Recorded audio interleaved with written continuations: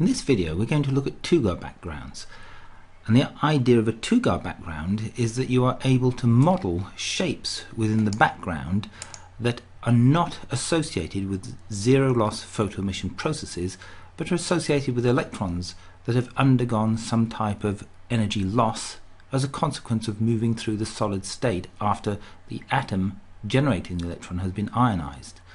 So we have electrons of a given kinetic energy that are characteristic of these photoemission peaks, and then subsequently some type of interaction with the atoms within the solid produce shapes such as this one here. And this sample is an aluminium foil that has been sputter cleaned to produce a, a metallic surface.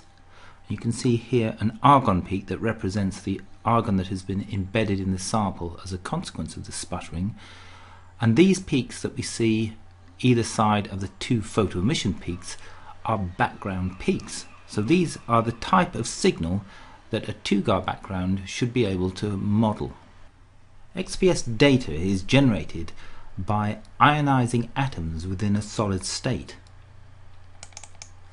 And when we ionize an atom within a solid state, the atom is at varying depths within the material and when ionized the electron emerges with a characteristic energy and the characteristic energy is related to the photon energy, the bound state of the atom and the bound state of the ion that is generated by the excitation by the photon.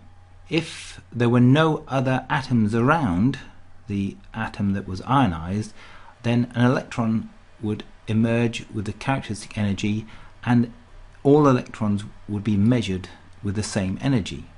But because we're in a solid state, when the electron emerges from an atom, there is a probability that that electron will interact with other electrons within other atoms and excite the electronic configurations of these other atoms and as a consequence of the excitation energy is lost to the electron that was originally emitted from an atom. So despite having originated with a given energy when recorded after scattering, the energy for the electron means that signal appears as part of this background. And in the case of aluminium, there are certain resonances that can occur that produce sharp shapes in the background signal. And it's these types of shapes that the Tougaard background is attempting to model and by doing so we ought to be able to work out the type of shape corresponds to the background beneath these photoemission peaks that are associated with inelastic scattering and that gives us a better chance of estimating the amount of signal in a systematic way that we can then apply quantification to to work out the amount of substance for aluminium or even work out different chemical state in terms of peak models that will include such a background. A background can be added to data using the quantification parameters dialog window on the region's property page. If we press the create button then in this case we have a linear background and you can clearly see that the linear background cuts through data and over this type of energy range it's not appropriate to use a linear background. So let's try a Shirley background. And if we add a Shirley background, well, it looks like it makes some kind of sense here around the photoemission peak. And over this type of range, it's because this is a relatively flat response of the instrument and a flat rise in the background, we have a Shirley background that is even doing a reasonable job in terms of identifying the peak for this aluminium 2p. But you can also see that these resonance structures that are part of the background will not be described by a Shirley background whatsoever. So this is the first indication that the Shirley background really is quite a, a coarse background approximation compared to what we would expect to find for a Tougaard background. One of the differences between the Shirley background and the Tougaard background is simplicity of the Shirley background. It's an algorithm that is very straightforward. It relies on iteration, calculating the background based on area above the background, and it has to be iterated to converge to a background that it actually is very characteristic of the shape you might expect for an error function The only difference being, rather than using a Gaussian for an error function, you have the line shape itself that is integrated to produce this Shirley step here. In terms of a Tougaard background, we have cross-section terms that have to be defined.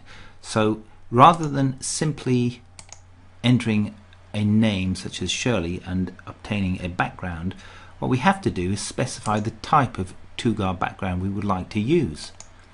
So here I've got a UAL Tougaard background and this will update the cross-section field with parameters that were defined by Tougaard and published. So I'm going to press return and you can see here that the cross-section fields have all changed.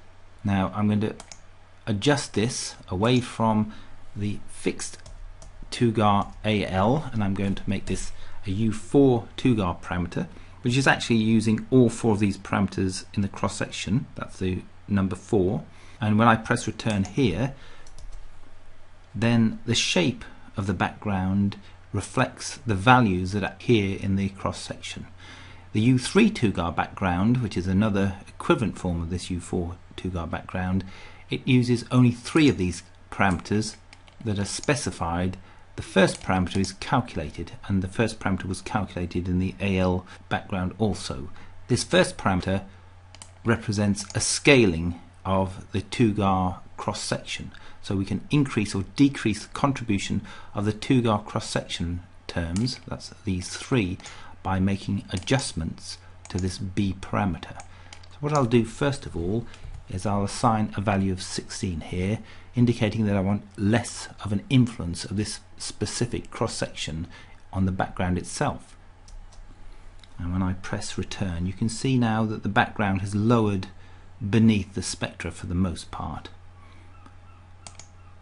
The other parameters, this is the C parameter, represents a term that will allow us to shift the cross-section and the sharpness of the cross-section is determined by the D parameter. And this is a very small number as Tougaard cross-sections go and this is responsible for this resonance type shape in the background. So if I use these two parameters I can move the resonance peak so if we look at this position here when I press return on adding 5 to the current value you can see that the resonance now moves and it is matching more the peak in this resonance structure. Now I could also change the sharpness of this resonance structure so if I set the D value to 4.1 instead of 4.5 we should find that the peak maximum increases and so it does. So the objective is to make adjustments to cross-section parameters that are consistent with the data that we have here. So we can see that the resonance that corresponds to this particular Tougaard background is reproducing the shapes that we see in the background, if not completely reproducing the background everywhere. We can at least see that this cross section here produces a resonance shape when the Tougaard algorithm is applied with this cross section. It's clear that this background doesn't fit the data perfectly. And the reason for this is that these represent resonances in delocalized electrons associated with aluminium. And this peak here is characteristic of a bulk plasmon. Whereas we have another shape here that is characteristic of a surface plasmon. That's to say the background shape depends on from where in the sample the electrons are being scattered. So closer to the surface we have an interface that causes a change in the frequency of how these electrons are scattered by these delocalized electrons from the metallic aluminium.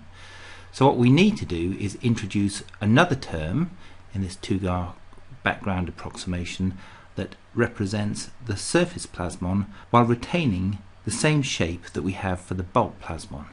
So what we'll do is having selected the region, we'll copy it and paste. And so now I have two backgrounds that are defined over the same interval and one is a U4 Tougaard background and that's the first one representing the bulk plasmons and if I change the background type from U4 to U plus Tougaard and press return then what happens is we double up on the bulk plasmon and hence the background leaps away from the data. However, the bulk plasmon and the surface plasmon have different positions and these can be changed by altering one relative to the other. So if I make this 110 for example, this is the C parameter and this determines for the most part the position of the resonance. So when I press return we can now see that as a consequence of having two Tougaard calculations based on these data, we now have one representing the bulk plasmon and the other the surface, but we can also see that the surface plasmon is a much broader feature.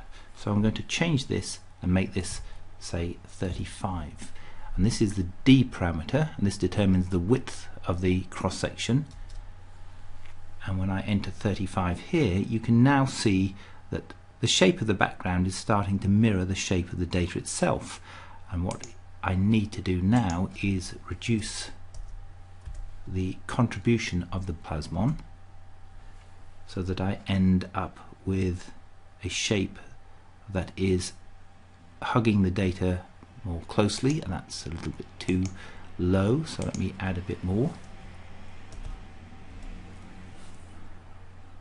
And as a result I can build up the different influences that we have on these data producing this cross section now I haven't produced the ultimate Tougaard cross section based on the bulk and the surface plasmon but even as this stands you can see that the resonance structures can be modeled using this Tougaard formalism where you can construct a background that increasingly looks like the background associated with these data. Up to this point the background has been constructed by adjusting these parameters in the cross sections and you might believe that these can be adjusted arbitrarily but in fact they cannot. The surface plasmon and the bulk plasmon have been studied and the position for these plasmon resonances and the width of the plasmons has been predicted. So these cannot be chosen arbitrarily and we can illustrate this by making adjustments to this cross section for the surface plasmon. If I change the D parameter from 35 to 15 and then make a corresponding adjustment in the B parameter that alters the proportion of the surface plasmon in this particular shape you can reproduce the data almost as well as you did previously so these physical parameters in terms of the width of a of a resonance structure are not arbitrary and they are not unique if you simply adjust these parameters. So in terms of science and the science of this background, such an exercise is of limited value. In terms of understanding how photoemission and inelastic scattering contribute to a background signal, there is some merit in observing how these parameters and a peak interact to produce a background. And in particular, it begs the question about the Shirley background. If you consider what would happen in this zone here if you put a Shirley background on, then you would end up with a step in the background. Let's just illustrate that by taking a copy. and I'll copy again without the Tougaard background so I've now got one without and one with and if I introduce here a Shirley background and place the Shirley background across the aluminium 2P and then overlay these we can see the difference between the Shirley background and the Tougaard background So here is the Shirley background. Here's the Tougaard background. If we accept the behavior of the Shirley background, when we consider this in the context of the Tougaard formalism, what a Shirley background would imply is that there is some kind of loss cross-section that needs to be applied to these data that would then produce a shape beneath the photoemission peak itself. If we now look at another background that is calculated for the same data, this represents a background that is now constructed from not two representing the bulk and the surface, but also some other cross section here. I'm not quite sure whether this is physically meaningful as a cross section, but nevertheless it serves to illustrate what would be required to produce a Shirley type shape beneath the photoemission peak for the aluminium 2P. It also has a consequence of allowing a shape to be fitted over here corresponding to signal that's associated with the first plasmon for the bulk.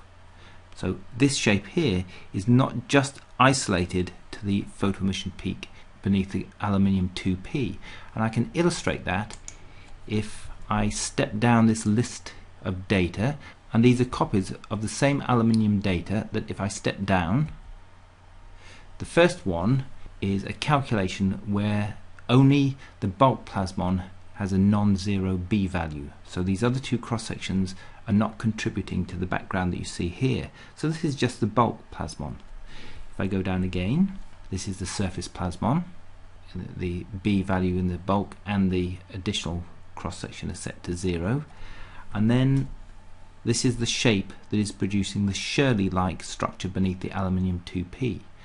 And it also has a consequence as a shape over here that is an important part of fitting these data with the full background as calculated. So if I go up, you can now see that all three are required to fit the data with this background.